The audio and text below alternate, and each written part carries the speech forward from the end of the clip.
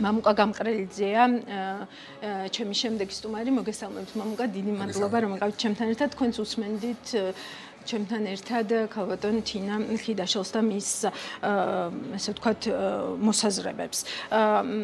რა ვითარებაში ვართ დღეს და რა არის შეცვლილი ესე ვთქვათ ჩინეთთან ურთიერთობების თვალსაზრისით აი დღეს მდგომარეობით დიდი მადლობა მოწვევისთვის. უპირველეს ყოვლისა მინდა მიულოცო საქართველოს ელჩს, ახალ ელჩს ჩინის ახალ რესპუბლიკაში, პატაკანტაძე ძალიან გამოცდილი ადამიანია, დიდი დიპლომატიური გამოცდილების და ჩემი მხრიდან როგორც საქართველოს მოქალაქემ დიდი მადლობა უთხრა აჩიკო კალანდიას ძალიან ნაყოფიერი მუშაობისთვის, რაც მან ჩაატარა წლების განმავლობაში როგორც ჩინეთის ელჩმა და მანამდეც ის ძალიან დიდი ხანია ჩინეთში მოღვაწეობდა და მართლაც არაჩვეულებრივად სერიოზული სამუშაო აქვს ჩატარებული. მოკლედ ეს ასეთი დღეა, რომ შეიცვალა რაღაცა დიპლომატიურ ურთიერთობებში ჩინეთთან.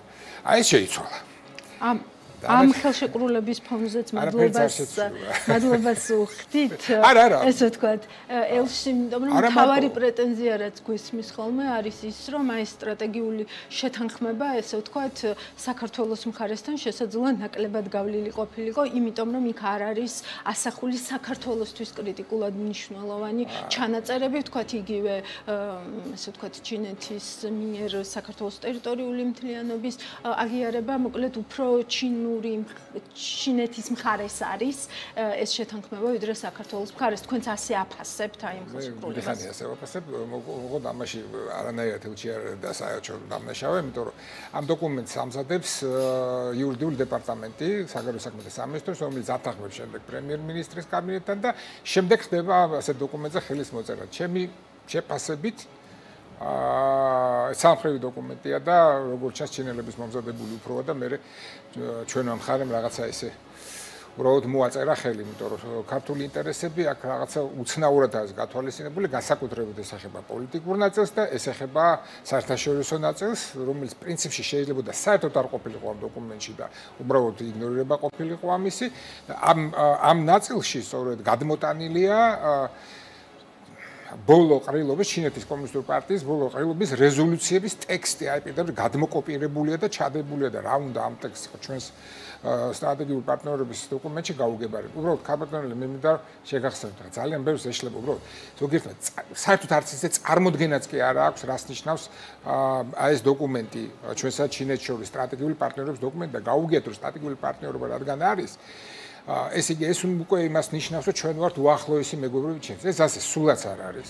იმიტომ რომ აბსოლუტურად განსხვავებულია ამერიკის სტრატეგიული პარტნიორობა და ჩინეთის სტრატეგიული პარტნიორობა. ჩინეთის სტრატეგიული პარტნიორობა გახლავთ ძალიან ცერემონიული დოკუმენტი. ძალიან ცერემონიული ვალდებულებებით და უფლებებით. ეს არის რაღაც ნუ ის ქაღალდია ერთმანეთის ასე ვთქვათ პატივისცემის გამომხატავი და მეტი არაფერი. არა არც ერთ მხარეს ეს არაფერს არავალდებულებს არავალდებულებს მithumetes არც ხმის მიცემას ეს საერთოდ წარმოუდგენელია იმიტომ რომ არ შეიძლება რომ სუვერენულმა ქვეყანამ ვიღაცასთან რაღაცა ვალდებულებით მისცეს ხმას ეს იქნება ნატო ეს იქნება ამერიკის შეერთებული შტატები და ეს იქნება ჩინეთი და ყველა სუვერენულ ქვეყანას მათ შორის საქართველოს სუვერენული ქვეყანაა და ჩვენ ამით ძალიან ვამაყობთ რომ მივიღეთ დამოუკიდებლობა 91 წელს აი ეს სრულიად წარმოუდგენელი ვიღაცის ასე ვთქვათ ვიღაცასთან შეთანხმებით მოხდა ხმის მიცემა რაიმე დოკუმენტზე ან რეზოლუციაზე გაეროში. ნუ ეხა შემდგომში რა იქნება, როგორ გაღმორდება ურთიერთობები, ეს უკვე მეორე საკითხია, მაგრამ დღეს დიპლომატიურ ველზე სტატუს კვო არაფერი განსაკუთრებული არ შეჩნდა. ესეთი დოკუმენტი აქვს სოფლიოს ალბათ ნუ 150 ქვეყანას, როგორც ნუ 100-ზე მეც ნამდვილად. ევროპის ყველა ქვეყანას, ოღონდ იქ კიდე რანჟირება, მაგალითად დიდი ბრიტანეთი გახავთ ჩინეთის 21 საუკუნის ყველა დროის ყველაზე ღრმა და ყველაზე საუკეთესო და უახლოესი მეგობარი. ეს რაღაცა იმდენი ისაა, რეგალია ჩამოწერილი დიდი ბრიტანეთს და ჩვენ უბრალოდ სტრატეგიულ პარტნიორებად ესე ყველაზე დაბალი დონე ურთიერთობებისა ჩინეთთან. ნუ რა ვიცი, ნუ ექნება იმის რაღაცა ილუზია, რომ ეს რაღაცას გვავალდებულებს, ამიტომ ეს მინდოდა უბრალოდ. კი, ჩინურ ინვესტიციებზეც მინდა რომ გკითხოთ. და ვთქვათ იგივე ანაკლია, ვთქვათ ახალი აეროპორტი, ვთქვათ ის სფეროები, სადაც ჩინეთმა გამოხატა თავისი ინტერესი, ეს ვთქვათ ამ პროექტების მიმართ. საფრთხილოა ეს ინვესტიციები იმ იმის გათვალისწინებით, რომ რეალურად ყველა მიცით რომ მეტნაკლებად ნაკლებად სახელმწიფო ინვესტიციებზე საუბრობთ, როდესაც ვთქვათ ჩინეთს ასეთი ტიპის მსხვილი ობიექტების მიმართ აქვს ინტერესი. კი ბატონო. აა ნუ დავიწყოთ იქიდან, რომ ჩინეთის ინვესტიციების ინტერესს გამოხატავს მთელი მსოფლიო. აჩვენებს შევახსენებთ ჩვენს მაყურებელს, რომ გერმანიის შარშან იყო გერმანიის უზარმაზარი დელეგაცია შოლცის მეტაურობით ჩასული ჩინეთში, ჩაიყვანეს ყველა დიდი კომპანიის ხელმძღვანელი გერმანიიდან, ყველა დიდი კონცერნის ხელმძღვანელი, რომლებმაც იქ ნუ ახლა ისაუბრეს რაღაც ვიღაცამ რაღაცაზე დადო ხა შეკოლება რაღაცაზე არა, მაგრამ ყოშტყოში აი ესეთი რაღაცნაირი რევერანსი იყო ჩინელების მიმართ. იგივე გააკეთა საფრანგეთმა. და მაკრონი ნუ რაღაცა იმდენად ახლო ურთიერთობებში ახლა დღეს სიძინპინთან რომ მათ ცალკე დამოკიდებულება აქვთ და ერთმანეთს ხვდებიან უკვე უჰალსტუხოთ და ძალიან ისეთი ახლო ურთიერთობებში არიან. ამიტომ მე ჩვენ არ უნდა გვეშინოდეს რაღაცა ჩინელებთან კავშირის. საფრთხე არ არის ჩინეთში. საფრთხე არის საქართველოს ხელისუფლებაში. როგორ გამოიყენებს ის ამ მიღებულ შესაძლებლობას, რასაც ჩინური ინვესტიციები ქვია. ჩინეთს რაღაცა ინტერესი ხომ უნდა კონდეს ახლა? საქართველოს პატარა ქვეყანა და ერთადერთი ინტერესი საქართველოსში ეს არის ინფრასტრუქტურული პროექტებში რაღაცა მონაწილეობა თქვა მშენებლობის სახით თუ ფულს გადაუხდით ან და დიდ ინფრასტრუქტურულ ისეთ პროექტებში რომელიც ლოგისტიკასთან დაკავშირებული თქვა ჩინეთიდან ან ცენტრალური აზიიდან აი იქ მონაწილეობის მიღებას. მონაწილეობის მიღება არ ნიშნავს იმას რომ ჩვენ უნდა დაუთმოთ ეს ობიექტები 59%-იც რომ კონდეს რა თქმა უნდა აბსოლუტურად ნორმალურია და ვერანაირად ვერ მოახერხებს ის ამ ობიექტის მართვას. და ეს რამდენადაც ვიცი საქართველოს კანონში გაწერილიც არის რომ 51% ნებისმიერ შემთხვევაში საქართველოს ხელისუფლებას უნდა დარჩეს რაც შეეხება ანაკლის სპორტს ამიტომ ეს ზედმეტი შიშები ცით რა რაღაცა ნუ დავძაბავთ ჩვენს მოქალაქეებს. რაც შეეხება აეროპორტს არ ვიცი რამდენად საჭიროა სიმართლე რომ გითხათ მე ვერ ხედავ აბსოლუტურად ამის საჭიროებას და არ მგონია ვიღაცა ლოგისტიკის იქნება თუ ტრანსპორტის სპეციალისტი რომელიც იტყვის რომ ეს სააუცილებლობაა და საჭიროება. მე აქ ჩემ დასამწუხაროდ უფრო პოლიტიკურ ნიშნით უყურებ ამ ამბავს იმიტომ რომ ამ ასაფრენ ბილიქს ნატო იყენებდა ხოლმე და ეხლა რაღაცა ჩვენ უნდა შევუწყდეთ იქ მას წვდომა ხო? მაგრამ ნუ აქაც შეიძლება ჩინეთს კონდეს რაღაცა ინტერესი და აქაც აი ესეთი შეზღუდული ინტერესი უნდა იყოს ბენეფიციარი მოგების მაგრამ არავითარ შემთხვევაში მართვაში არ უნდა დაუშვათ და არც ჩინელებენ დაუშვათ და არც შვეიცარლები არ უნდა დაუშვათ. ახლა ეს ამას რა თუნდა ბევრი ფიქრი ამას არ ჭირდება, ხო? ამიტომ კიდევ ერთხელ ზედმეტ შიშები არის საჭირო. შიში არის სხვა რამე, საფრთხე. ეს არის კრედიტები. კრედიტების აღება არ შეიძლება არავითარ შემთხვევაში. ну არანაირად. იმიტომ რომ ეს არ არის დემოკრატიული ქვეყანა, მათ შორის რომელიც ამ წესებით მუშაობს.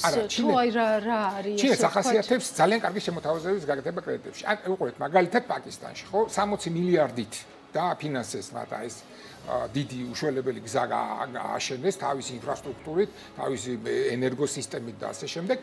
და პორტის განახლება გააკეთეს იმაში რა ქვია გალფში აქ არ ეყო ეს ფული და არ ეყო რატომ? იმიტომ რომ როგორც იცით ხა პაკისტანის თავრობაში შეიძლება ვიღაცები იყო რომელსაც არ იყო სათავისოთაც ეს ფული შესაბამისად 20 მილიარდ დოლარის აღება კიდე დაჭერდათ უკვე კრედიტების სახით აი მან ამ კრედიტებთან უმძიმეს მდგომარეობაში ჩააყენა აა პაკისტანი დღეს უწევთ სოფლიო ბანკიდან, ევროპის განვითარების ბანკიდან და სხვა სხვა დასავლური ბანკიდან გადაფარო ამ კრედიტის. იგივე სიტუაცია კენიაში. ჩერნოგორია, აი რომელიც ჩვენაირად მაგრამ აქაც იგივე ლოგიკაა რა, რომ თავისთავად ჩინური კრედიტი კი არ არის პრობლემა, არამედ რეალურად ის თუ როგორ გამოიყენებ ამ ჩინურ კრედიტს. აქ ჩინელებს ყოველთვის გათვლა აქვთ ასე აფრიკაზე ძირითადად და ასეთ ქვეყნებს იმაშობთ. სადაც აი როგორც ვლადიმერ ილიაზელინი ამბობდა კომპრადორული ბურჟუაზია, ხო? არსებობს რაღაცა კორუფციონერი მთავრობები, რომლებსაც ნუ ხელი წაუცდებათ ხოლმე რაღაც ფულზე და ამ შემთხვევაში ჩინე ჩინეთი იწყებს დაკაბალებას სწორედ აი ხელისუფლების და იწყებს გამოყენებას. მაშინ მას სულ არ ჭირდება 51 და 67%. ის უბრალოდ შენ გაგაკეთებინებს თავის საქმეს. ამიტომ ეს საფრთხე არსებობს. ჩვენ კრედიტები არ უნდა ავიღოთ და არავითარ შემთხვევაში არ უნდა მოხდეს კორუფციის რაღაცა ნიშნები არ უნდა იყოს აი ამ მშენებლობებში. აი ეს არის მთავარი. თუ ხელისუფლება თავის ასე თქვა პოზიციებს დაიჭერს ისე როგორც ხელისუფლება შეეფერება და შეესაბამება, რა თქმა უნდა, არანაირი საფრთხე ჩინეთის მგეში ინვესტიციებში კიდევ ერთხელ ვიმეორებ, ეს წინა ხელისუფლების დროსაც ჩვენ რამდენჯერმე გადავთვალეთ ეს წინა პრემიერთან გილაუს გულისხმობ რომ წინვალეთ ერკვევა ეკონომიკაში. მივედით იმ დასკვნამდე რომ აბსოლუტურად მიუღებელია ჩინური კრედიტების აღება შედარებით დასავლურ კრედიტებთან. ისინი ბევრად უფრო ასე თქვათ დაბალ პროცენტიანია უფრო კარგ პირობებზე იძლევიან და ასე შემდეგ. ახლა როგორც ახლა ჩერნოგორია ახლა ეხმარება დასავლეთი ისე რომ გადაფაროს ჩინური კრედიტები და რატომ უნდა ჩავიყენოთ თავი ჩერნოგორიის და მონტენეგრო მაპატიეთ ჩერნოგორიას ხმარობენ რუს რუსეთის ფაქტორი როგორი ფაქტორია თქვათ თქვენ ახსენეთ თქვათ საფრანგეთი ევროპის სხვადასხვა ქვეყნები აი თქვათ რუსეთის ფაქტორი ამძიმებს აი ამ სურათს ან ეკონომიკურ თვალსაზრისით ან პოლიტიკურ თვალსაზრისით საქართველოს არა და ეხა უყურეთ ნუ. სულ მე მეღიმება ხოლმე რა რაღაცნაირად აი რუსეთი ჩინეთის გავლით ჩვენზე ზეწოლას კარგია თქვენ ჭირემე რა რაში ჭირდება ჩინეს აი ეს ის რუსეთს აი ეგეთ რაღაცების კეთება. აგერ არის და 40 კილომეტრშია თბილისიდან და თუ რაღაცა ზეწოლა ჭირდება რუსეთი ისე განახორციელებს ამ ზეწოლას რომ ბევრს არ კითხავს რა დამიჯერეთ რა. ჩინეთიდან რაღაცა შემოვლითი გზების განხორციელება აბსოლუტურად ხა მის ასე თქვა საფიქრალი არ არის. მოკლე გზაა გაიგე რა იქ იმაზე ვიფიქროთ რომ ეს როგორ როგორ მოვახდინოთ ამ ამ საკითხის გაუნებელყოფა და თავის დაცვა ჩინეს თავისი ეკონომიკური პრობლემა თანაც ერთ რამე იცოდეთ არასდროს ჩინეთი რუსეთის ის არ არის იცით რაღაცა რა იმის იმის ნებაზე რამეს აკეთებდეს. არ ხმის მიცემას რაც შეეხება ჩინეთი თავს იკავებს.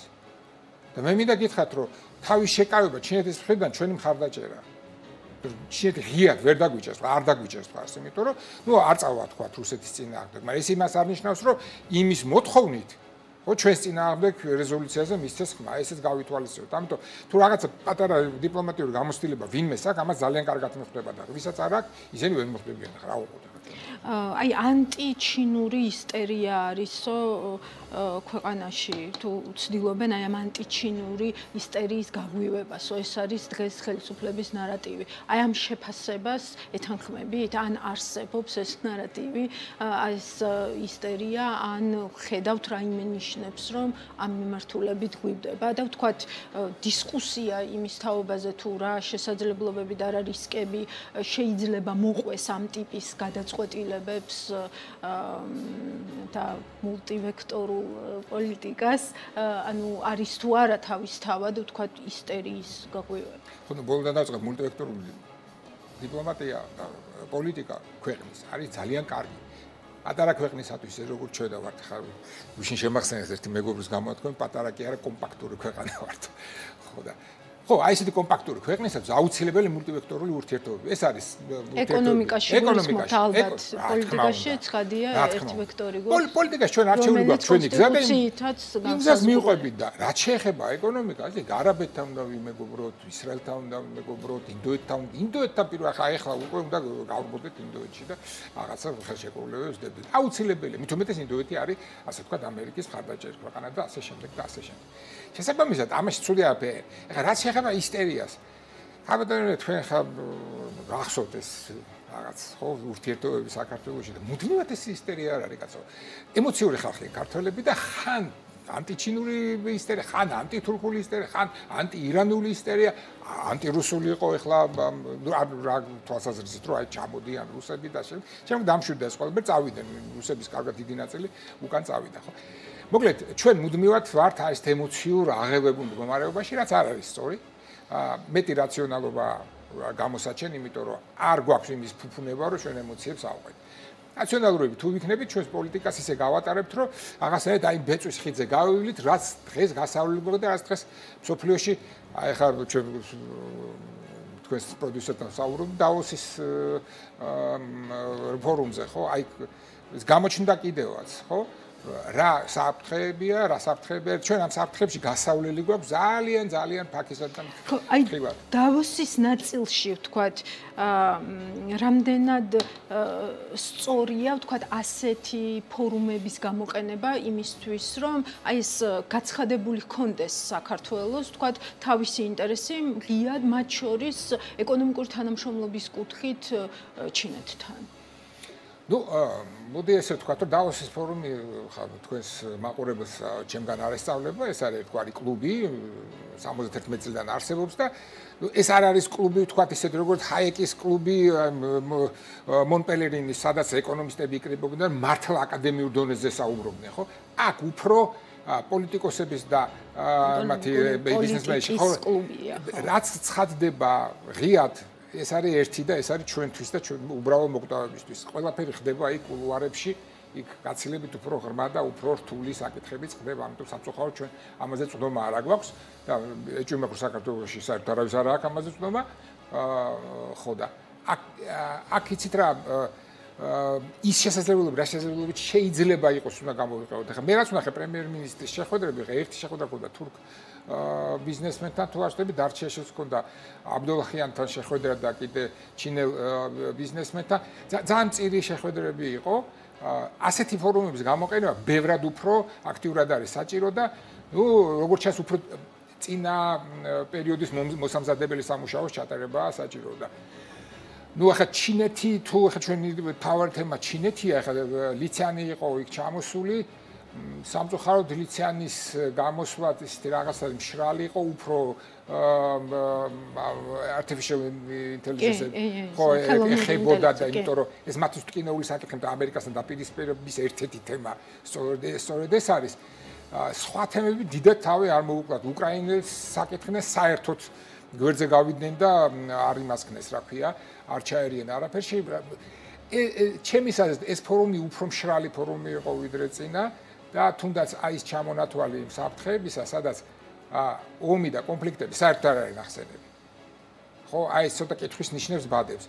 ხა ის თუ გლობალურ დათბობას თუ სახელ შეუცვლიან და ამინდის ცვლილებით შეცვლიან, ხო, რაც სახელ ჩვენ ვხედავთ, ხო, ეს არაფერი სიახლე არ არის. ნუ ალბათ ფონდერლაინის გამოსვლას ნახეთ, ხო? პირდაპირ თქვა, რომ საფრთხე კონფლიქტები და ომები კი არ არის მეგობრო. არამედ აი აი ამ ხელოვნური ინტელექტის მიერ შექმნილი მის ინფორმაცია და დეзинფორმაცია არის სწორედ საფრთხე და ну გამიკვირდა სიმართლე გეთხრათ ევროპაში გაგანია ომი მიდის უკრაინაში და დეзинფორმაციაზე საკი დეзинფორმაცია რა თქმა უნდა საფრთხეა მაგრამ ასეთი საფრთხე როგორც უკრაინის ომია ნუ აი ნუ ცოტა სიმართლე გითხრათ არასოდეს ყოფილი ვარ ამ ფორუმის ფანი მithumetes შვაბის ხო, მაგრამ ნუ ყოველ შემთხვევაში ეხლა რაღაცა ეს გულდაწყვეტის სტამიტოვა შტაბეჭდილება. შევაჯამოთ ჩვენი საუბარი და ასე მინდა შეგაჯამებინოთ. აი რა გინდათ რომ დღეს იყოს, თქვათ მთავარი რა გინდათ რომ დარჩეს დღეს ჩვენი საუბრიდან თქვენი გზავნილის სახით ჩვენს მაყურებელს, მათ შორის ხელისუფლებასაც, რომელიც ვიცი რომ ვიყურებს. მე როგორც ჩემს დიდი გულშემატკივარი, მინდა ვთქვა რომ საფრთხე არ არის ჩინეთში. საფრთხე არის ჩვენში, ჩვენს ხელისუფლებაში. ა როგორ შეძლებს ჩვენი ხელისუფლება თავი შეიკავოს იმ წინარეებისაგან, რომელსაც ჩინელები აუცილებლად გაუკეთებენ ჩინელებს უყვართ კორუფციაში ჩათრევა უცხო ქვეყნის ხელისუფლებების. აი ეს არის თავი. არ უნდა აყვნენ ამაზე. ეს ჩინელებს უფლება და ამ უფლებას ენი იყენებენ ძალიან კარგად. ყველგან, ყველა ქვეყანაში. ამიტომ ნუ უნდა რაღაცნაირად შეეცადოს ჩვენი ხელისუფლება რომ აი იდგეს იმ იმ დონეზე, რა დონეზეც უნდა იდგეს. ხო, ისტორიასთან ერთად რაღაც ზედმეტი აღტაცებაც როგორც ჩანს არ ვარ არ ვარ რა თქმა უნდა ემოციები ხა ზედმეტი ემოციები არ ვარ საქმეში არ ვარ. ჩუნება საჭირო აბსოლუტურად გეთანხმები ძალიან დიდი მადლობა რომ იყავით ჩემთან ერთად მამუკა გამყრელიძე საუბრობდა ანალიტიკას პირდაპირ ეთერში